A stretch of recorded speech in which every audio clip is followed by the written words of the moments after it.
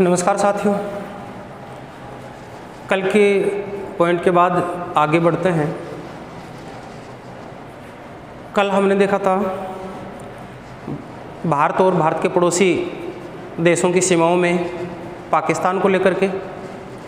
आज हम चर्चा करेंगे आगे निकट पड़ोसी देशों में भारत व अफ़गानिस्तान। भारत अफ़गानिस्तान। भारत और अफ़गानिस्तान की सीमाएँ सबसे पहले सीमा का निर्धारण किया गया सन अठारह सौ छियानवे ईस्वी में सीमा का नाम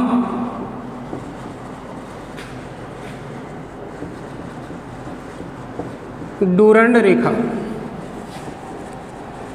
निर्धारण करता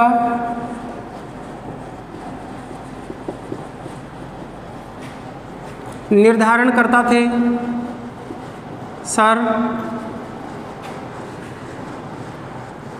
मोर्टिमूर डूरंड इनके द्वारा भारतीय सीमा का निर्धारण अफ़गानिस्तान के साथ किया गया। इसलिए इस सीमा को ही नाम दे दिया गया डूरंड रेखा। भारत और अफ़गानिस्तान के साथ लगने वाली जो सीमा है, वो न्यूनतम सीमा है। न्यूनतम सीमा वाला देश है।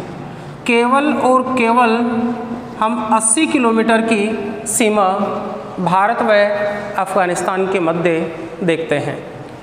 वर्तमान में यह सीमा रेखा पाक अधिकृत कश्मीर के कारण भारत के साथ नहीं लगती है, इसलिए हम कह सकते हैं, नोट लगा करके इसको लिख भी लें, वर्तमान में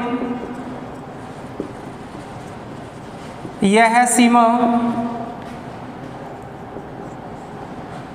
भारत के साथ नहीं लगती है।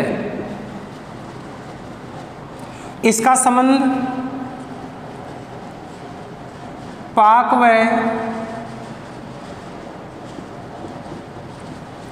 अफ़गानिस्तान के साथ है। प्रश्न इंपॉर्टेंट है डूरंड सीमा। अब यहाँ एक प्रश्न और भी निकल करके आ रहा है। डूरंड सीमा का निर्धारण अठारह सौ छियानवे में किया गया था और उस समय पाकिस्तान और भारत एक ही हुआ करते थे। इस समय ये जो सीमा का निर्धारण था, ये कुछ इस रूप में था और इसको कहा जाता था डूरंड रेखा। डूरंड रेखा। याद रहे, प्रश्न कुछ बदल करके दे दिया जाता है। डूरंड रेखा सर्वाधिक लंबी किन देशों के मध्य लगती है?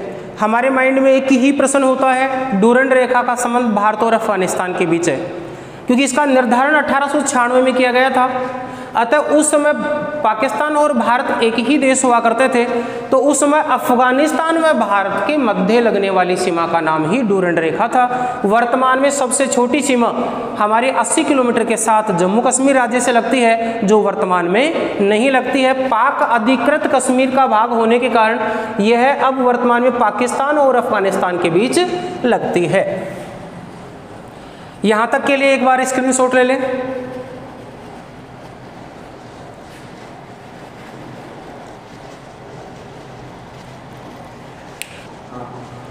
नेक्स्ट किस देखते हैं हम?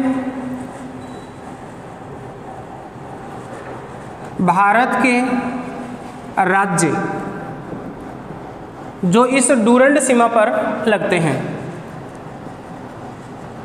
केवल एक राज्य है।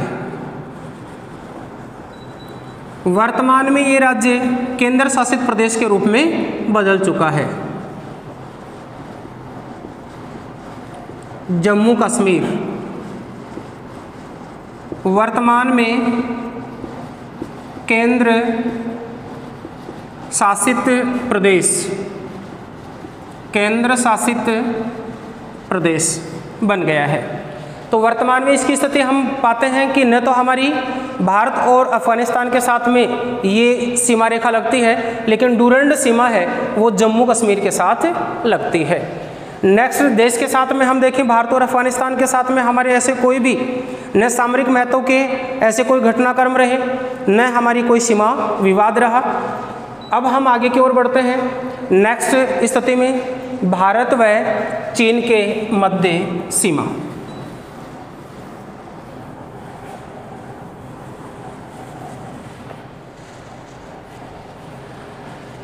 नेक्स्ट स्थिति भारत, चीन, सीमा। सबसे पहले हम देखें, भारत और चीन की जो सीमा का निर्धारण था, वो 1914 में किया गया। निर्धारण शिमला सम्मेलन में हुआ। शिमला सम्मेलन में हमारे भारत और चीन के मध्य सीमा का निर्धारण किया जाता है। निर्धारण करने वाले थे। मैक मोहन, इसलिए इस सीमा रेखा को कहा जाता है मैकमोहन रेखा। अर्थात निर्धारण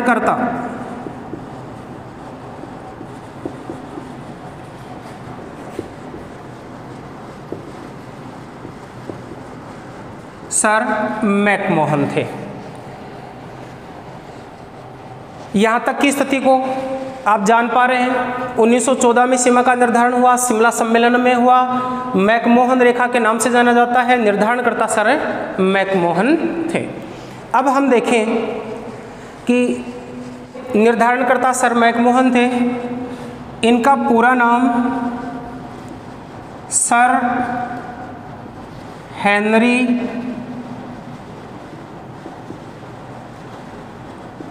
मैकमोहन था।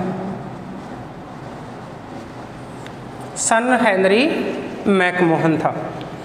अब राज्यों की स्थिति को देखें। भारत और चीन के साथ कौन कौन से राज्यों की सीमा लगती है? राज्यों की स्थिति में भारत के राज्य जो मैकमोहन रेखा पर सीमावर्ती स्थिति को रखते हैं।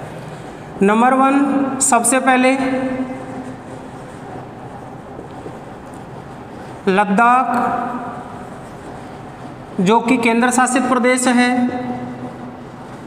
यूनियन टेरिटरी के रूप में जाना जाता है। दूसरा, हिमाचल प्रदेश। तीसरा राज्य उत्तराखंड चौथा राज्य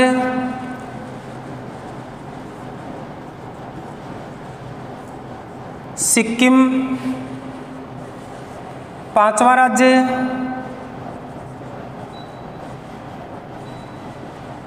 अरुणाचल प्रदेश। इस प्रकार से लद्दाख, हिमाचल प्रदेश, उत्तराखंड, सिक्किम और अरुणाचल प्रदेश की सीमाएँ लगती हैं। देखिए, इन राज्यों की स्थिति में एक केंद्र शासित प्रदेश और चार राज्य हैं। इनकी मानचित्र में स्थिति देखें तो सबसे पहले हम पाते हैं लद्दाख। फिर पाते हैं हिमाचल प्रदेश। फिर पाते हैं उत्तराखंड। फिर पाते हैं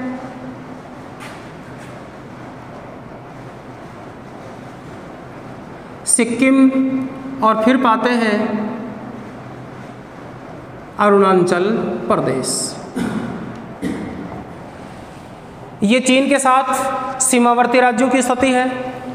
लद्दाख, हिमाचल प्रदेश, उत्तराखंड, सिक्किम और अरुणाचल प्रदेश। यहाँ हम अगर लंबाई को देखें तो यहाँ लंबाई की दृष्टि से उनचालीस सौ सत्रह किलोमीटर चीन की भारत के साथ सीमा की लंबाई बनती है। तो इन चार राज्यों के साथ हमारी और एक केंद्र शासित प्रदेश के साथ उनचालीस किलोमीटर की लंबाई बन, नेक्स्ट पॉइंट देखते हैं अपन। भारत, चीन विवाद। भारत, चीन विवाद। भारत और चीन के बीच विवाद का मुख्य कारण है। अक्साई चिन्ह। दूसरा विवाद का कारण है।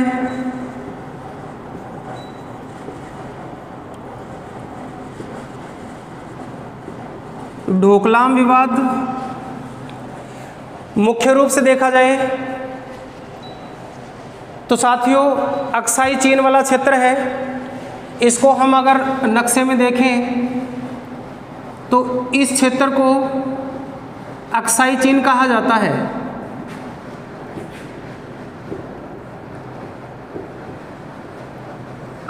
ये अक्साई चीन वाला क्षेत्र है, जो चीन ने कश्मीर वाले क्षेत्र को दबा रखा है। क्षेत्र है। वो कश्मीर का भाग हुआ करता था, जो कि वर्तमान में लद्दाख केंद्र शासित प्रदेश का अंग है।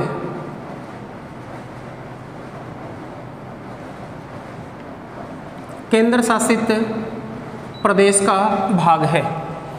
दूसरा जो विवाद है, वो ढोकलाम विवाद है, जो कि भारत, भूटान और चीन के मध्य एक ट्रायंगल पर बनने वाला एक स्थान है, जहाँ पर चीन ने इस क्षेत्र में कॉरिडोर के अंतर्गत सड़क का निर्माण कर दिया, जो काफ़ी विवाद का विषय रहा। अंततः इस सड़क को बंद कर दिया गया। वर्तमान में इसका उपयोग नहीं किया जा रहा है। अक्साई चीन क्षेत्र, डोकलाम विवाद, और वर्तमान में एक जो विवाद चल रहा है वो विवाद है भारत घेरो नीति। चीन की भारत घेरो नीति। इस भारत घेरो नीति को कहा जाता है मोतियों की माला।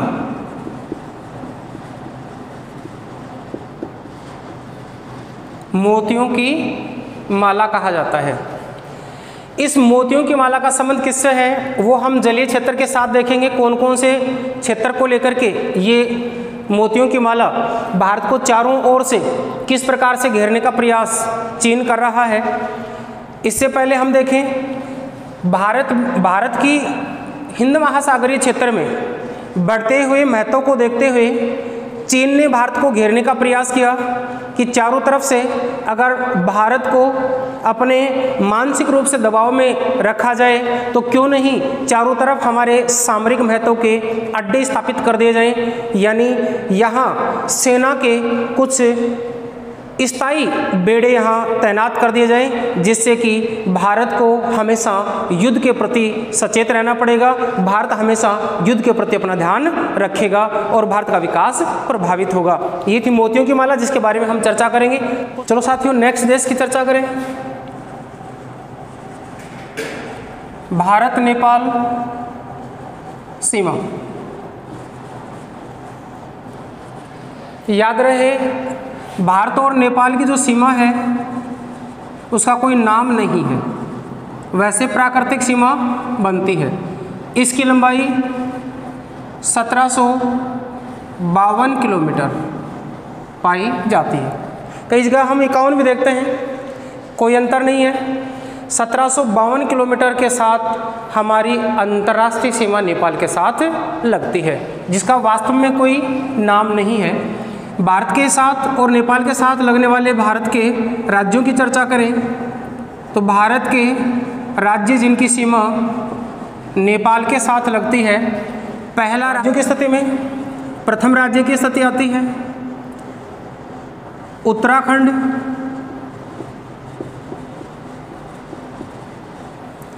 दूसरे राज्य की स्थिति आती है। उत्तर प्रदेश तीसरे राज्य की स्थिति आती है। बिहार चौथे राज्य की स्थिति आती है। पश्चिमी बंगाल और पांचवा राज्य सिक्किम। इसकी स्थिति आती है। अब हम मानचित्र की ओर आगे बढ़े। सबसे पहले हम देखें, उत्तराखंड की स्थिति आती है। फिर ये स्थिति आती है यूपी की, फिर ये स्थिति आती है बिहार की, ये स्थिति आती है सिक्किम की और ये स्थिति आती है पश्चिमी बंगाल की। इस प्रकार से उत्तराखंड, उत्तर प्रदेश, बिहार, पश्चिमी बंगाल और सिक्किम पाँच राज्यों की सीमा नेपाल के साथ लगती है। वैसे तो भारत और नेपाल के बीच में सीमा को लेकर के कोई विवाद नहीं रहा। वैसे भी सामान्य तो विवादों से दूर रहा है, लेकिन कुछ समय पहले एक विवाद उभर करके आया था।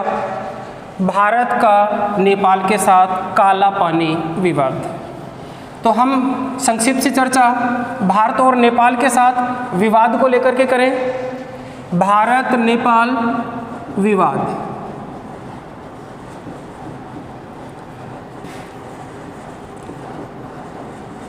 काला पानी विवाद। याद रहे, काफ़ी महत्वपूर्ण प्रश्न है।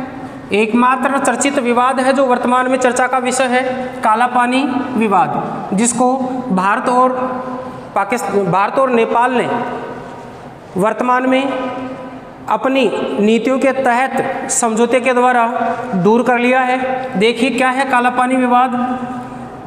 काली नदी है। काली नदी है और इस काली नदी पर बाँध बना दिया गया। और उस बाँध का नाम है टनकपुर बाँध।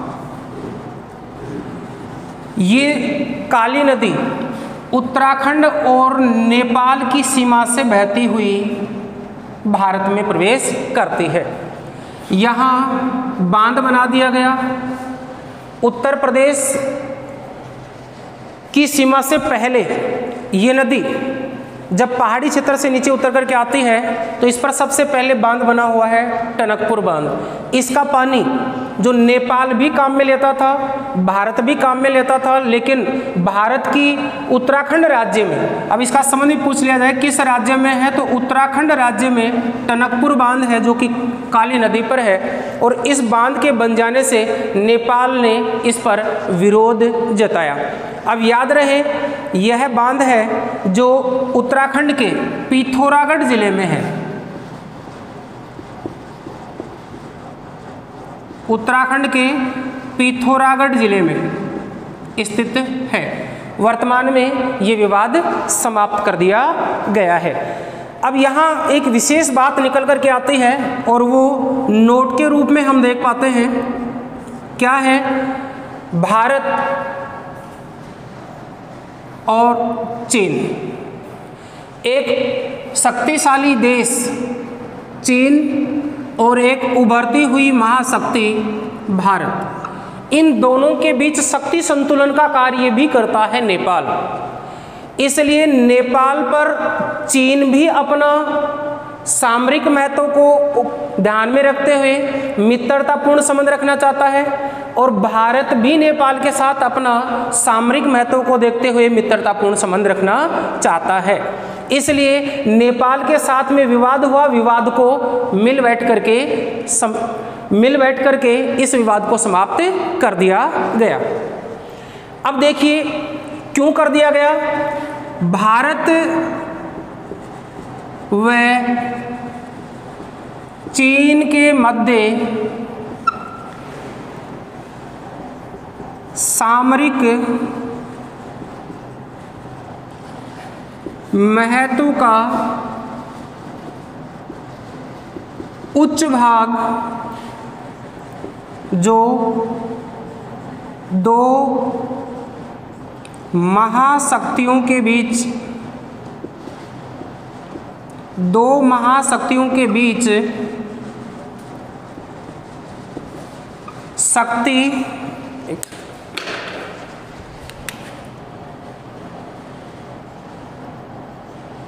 शक्ति संतुलन का कार्य करता है। ऐसा है नेपाल। इस स्थिति को भारत व चीन के मध्य नेपाल की इस स्थिति को कहा जाता है बफर स्टेट।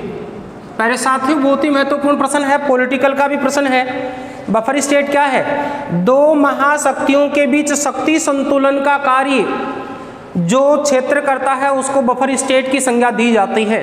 ऐसे में भारत के लिए नेपाल और भूटान दो ऐसे ही महाशक्तियों के बीच ऊपर उठे हुए भूभाग हैं जो सामरिक महत्व के लिए उपयोगी माने जाते हैं, अर्थात बफर स्टेट कहलाते हैं। नेक्स्ट अगले देश की ओर बढ़ते हैं।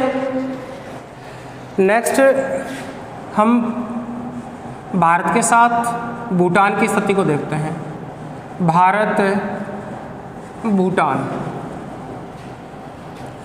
देखिए, भारत और भूटान के मध्य कोई विवाद नहीं रहा। और भारत और भूटान के बीच जो सीमा हम देखते हैं, वो प्राकृतिक सीमाओं के साथ लगती है। हम भारत और भूटान के साथ लगभग छः सौ निन्यानवे किलोमीटर की सीमा पाते हैं। देखिए, नेपाल बफर स्टेट के रूप में भारत का पड़ोसी देश और भूटान एक बफर स्टेट के रूप में भारत का पड़ोसी देश है। इसलिए इनका महत्व कुछ भारत के लिए ज़्यादा हो जाता है, क्योंकि एक उभरती हुई महाशक्ति दुनिया की एक ताकत जो हमारे उत्तर में चीन है, उसको अगर नियंत्रित करना है तो नेपाल और भूटान को हमें सदा सदा भारत के फेवर में रखना होगा। इसलिए भारत के साथ इन सीमाओं के ऊपर कोई विवाद नहीं रहे हैं। तो भारत और भूटान के साथ सीमा का कोई विवाद नहीं रहा है। प्राकृतिक सीमाओं के साथ में पाया जाता है और हिमालय इनकी सीमाओं का निर्धारण करता है। अब भारत के साथ जो राज्य हैं, भारत के राज्य जो भूटान के साथ पड़ते हैं कौन कौन से राज्यों की सीमा लगती है? नंबर एक, पश्चिमी बंगाल। नंबर दो सिक्किम, नंबर तीन, असम, और नंबर चार, अरुणाचल प्रदेश। देखिए मानचित्र की ओर आगे बढ़ें। तो ये जो स्थिति है, ये अरुणाचल प्रदेश की, और इस स्थिति के साथ हम पाते हैं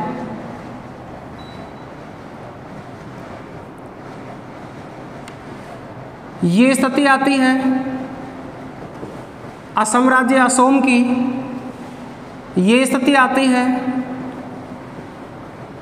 सिक्किम की और ये स्थिति आती है पश्चिमी बंगाल की।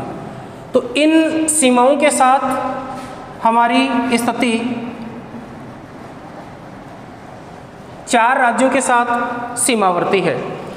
असम के साथ सीमा बनाता है। इधर अरुणाचल प्रदेश के साथ पूर्व में सीमा बनाता है। अब यहाँ प्रश्न एक इम्पोर्टेंट बन जाता है, जैसा कि म्यांमार, चीन और भूटान। एक ऐसा राज्य भारत का जो तीन देशों के साथ सीमा बनाता है। यहाँ स्थिति आती है अरुणाचल प्रदेश। इधर म्यांमार के साथ सीमा बनाता है, इधर चीन के साथ सीमा बनाता है और इधर भूटान के साथ सीमा बनाता है। इसलिए अरुणाचल प्रदेश त्रिकोण पर स्थित ऐसा राज्य है जिसकी सीमाएँ तीन देशों के साथ अंतर्राष्ट्रीय सीमाओं को स्पर्श करते हैं। नेक्स्ट हम आगे चर्चा करें। इस में चर्चा करें हम। म्यांमार और भारत के साथ लगने वाले भारत के राज्य। भारत के कौन कौन से राज्य हैं जिनकी सीमा म्यांमार देश के साथ लगती है? तो सबसे पहले तो हम देख चुके थे अरुणाचल प्रदेश, उत्तरवर्ती है। इसके बाद में हम देखें नागालैंड, फिर इसके बाद में देखें मणिपुर और इसके बाद में देखें मिजोरम। इन चार राज्यों की सीमा क्रम से अरुणाचल प्रदेश, नागालैंड, मणिपुर व मिजोरम के रूप में पाई जाती है। तो उत्तर में अरुणाचल प्रदेश सीमावर्ती राज्य है। अरुणाचल प्रदेश के दक्षिण में नागालैंड नागालैंड के दक्षिण में मणिपुर और मणिपुर के दक्षिण में मिजोरम राज्य की स्थिति आती है। प्यारे साथियों, यहाँ काफ़ी महत्वपूर्ण प्रश्न है। इस स्थिति में क्रम से इन राज्यों को उत्तर से दक्षिण की ओर देख करके पूछा जाता है। और यही प्रश्न जब हम भौतिक प्रदेशों में देखते हैं तो कुछ पहाड़ी श्रृंखलाओं को भी क्रम से देख करके पूछा जाता है। उत्तर से दक्षिण पहाड़ियों का क्रम क्या है? पूर्व से पश्चिम पहाड़ियों का क्रम क्या है? तो यह प्रश्न इंपॉर्टेंट बन जाता है। उत्तर में अरुणाचल प्रदेश अरुणाचल प्रदेश के दक्षिण में नागालैंड नागालैंड के दक्षिण में मणिपुर और मणिपुर के दक्षिण में मिजोरम राज्य सीमावर्ती राज्य हैं। नेक्स्ट नेक्स्ट देश की बात करें। भारत,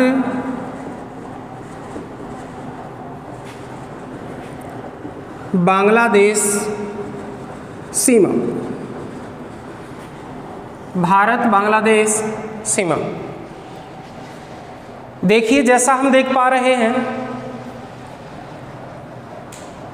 इधर ये जो सीमावर्ती स्थिति है, ये बांग्लादेश की स्पष्ट होती है। बांग्लादेश की भारत के आंतरिक वर्ती होने के कारण सीमा तीन तरफ़ से लगती है। देखिए, बांग्लादेश के पूर्व में बांग्लादेश के उत्तर में और बांग्लादेश के पश्चिम में स्थलीय सीमा लगती है। यही कारण है कि भारत का सर्वाधिक अंतर्राष्ट्रीय सीमा वाला पड़ोसी देश बांग्लादेश है। भारत और बांग्लादेश की सीमा का संदर्भ हम पाते हैं लंबाई के साथ। भारत और बांग्लादेश की सर्वाधिक जो लंबी सीमा है। चार हज़ार छियानवे पॉइंट सत्तर किलोमीटर है। इस सीमा रेखा का नाम है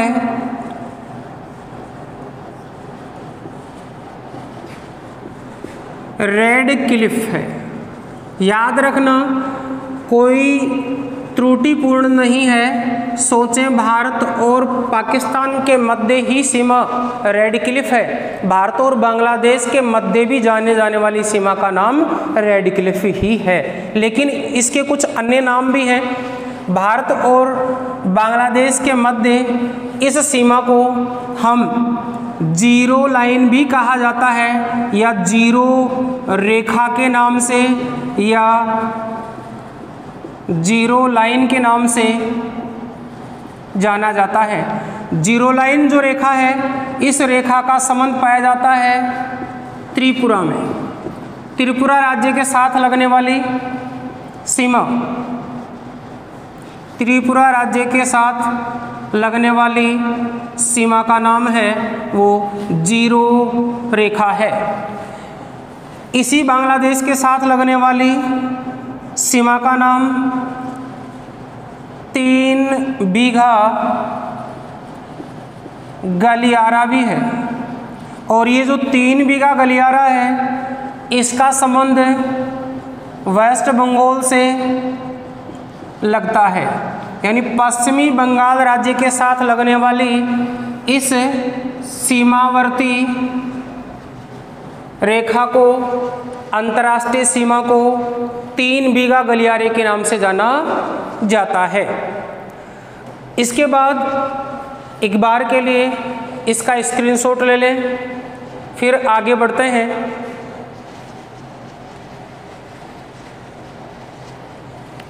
नेक्स्ट पॉइंट पर चलते हैं। भारत के राज्य, जो बांग्लादेश की सीमा पर लगते हैं। सबसे पहले हम देखें, पश्चिमी बंगाल, फिर देखें, असम यासोम थर्ड नंबर पर देखें, मेघालय, फोर्थ नंबर पर देखें त्रिपुरा और फिफ्थ नंबर पर देखें, मिजोरम। इन राज्यों की सीमाओं से घिरा हुआ है बांग्लादेश। मानचित्र में इसको देखें, ये जो सीमा बनती है, ये पश्चिमी बंगाल की सीमा बनती है। इस पश्चिमी बंगाल के साथ में इसकी सीमा पश्चिमी बंगाल के पूर्व में और बांग्लादेश के पश्चिम में लगती है। इसके उत्तर में सीमा असोम की लगती है। यहाँ सीमा मेघालय की लगती है। पुणे असम की सीमा बनती है। फिर त्रिपुरा की सीमा लगती है और फिर मिजोरम की सीमा लगती है। इस प्रकार से चारों तरफ़ से पश्चिमी बंगाल, असोम, मेघालय, त्रिपुरा और मिजोरम बांग्लादेश को घेरे हुए हैं। आगे हम चलें। भारत और बांग्लादेश के मध्य यहाँ से राज्यों को लेकर के दो प्रश्न बनते हैं। वह राज्य जिसकी सीमा बांग्लादेश को दो बार स्पर्श करती है। असम राज्य है या असोम राज्य है, जिसकी सीमा बांग्लादेश को दो बार स्पर्श करती है। त्रिपुरा राज्य ऐसा राज्य है, जिसको बांग्लादेश तीन ओर से घेरे हुए है। अर्थात बांग्लादेश की तीन ओर से सीमाएँ त्रिपुरा के साथ लगती हैं। नेक्स्ट स्थिति में चलें। भारत बांग्लादेश विवाद। भारत और बांग्लादेश के बीच काफ़ी विवाद रहे समय समय पर चर्चा में रहे। भारत और बांग्लादेश के बीच पहला विवाद रहा। फरक्का जल विवाद। गंगा नदी की जलधारा पर बना।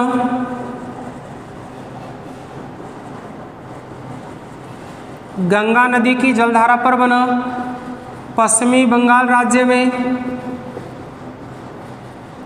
बाँध है जिसका नाम है फरक्का डैम या फरक्का बाँध।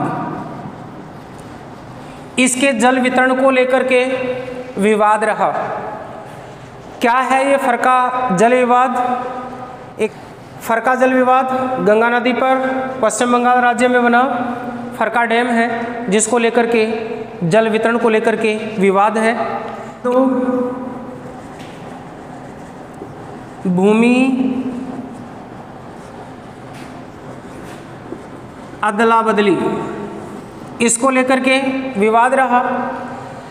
भारत और बांग्लादेश के बीच में कुछ सीमाएँ इस प्रकार से हमें देखने को मिलती हैं। इस प्रकार की सीमाएँ हैं। ऐसी सीमाएँ जिगजैग सीमाएँ हैं और इन जिगजैग सीमाओं को लेकर के भारत और बांग्लादेश की सरकार ने मिलकर इस समस्या का निराकरण करने का प्रयास किया। इसमें वे प्रदेश जो बांग्लादेश की तरफ़ आगे आंतरिक रूप से भारत के प्रदेश थे, वे प्रदेश जो बांग्लादेश के प्रदेश थे जो भारतीय सीमाओं की ओर आंतरिक रूप से थे इनको एक सीधी लाइन के रूप में कुछ स्थान जो बांग्लादेश के भारत की ओर और, और भारत के बांग्लादेश की ओर इस भूमि को देकर इस विवाद को समाप्त करने का प्रयास किया गया है। इसके बाद में रहा चकमा शरणार्थी विवाद। काफ़ी महत्वपूर्ण है। बार बार एग्ज़ाम में पूछा गया चकमा शरणार्थी समस्या किन देशों के मध्य है? भारत और बांग्लादेश के मध्य है।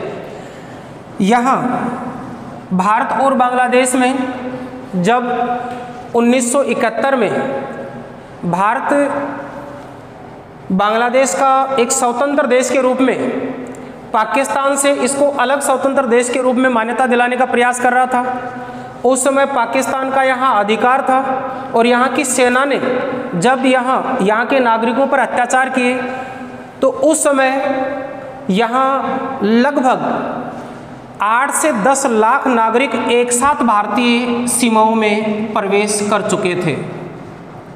आठ से दस लाख नागरिक। इन नागरिकों की भारतीय सीमा में प्रवेश को लेकर के भारत सरकार ने विरोध दर्ज किया और ये विवाद वर्तमान समय तक ज्वलंत है, चकमा शरणार्थी विवाद। इसका सबसे ज़्यादा जो प्रभाव रहा, वो असम राज्य में देखने को मिला। और यही अपन ने नागरिकता बिल,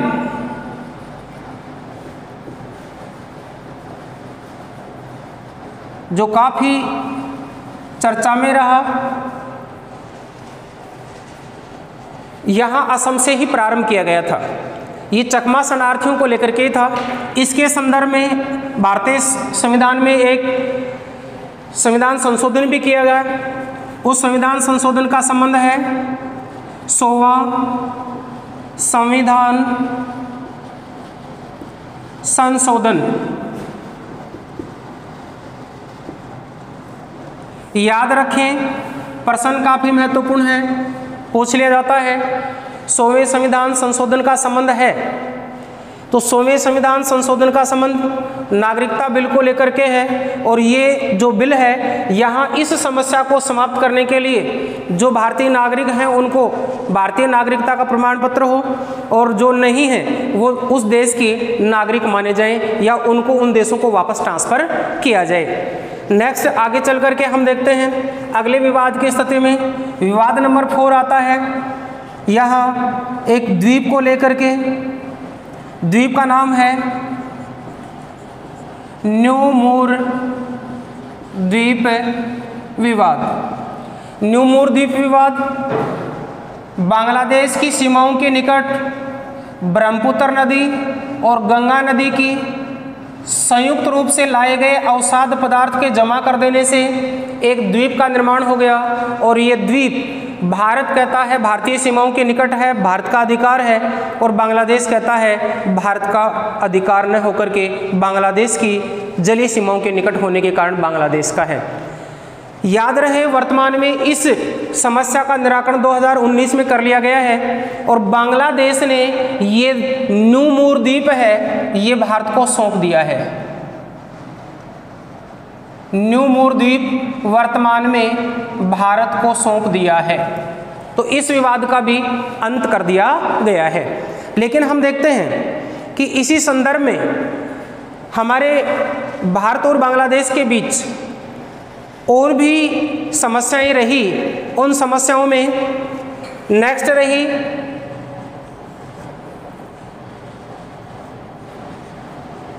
चीन को दिए गए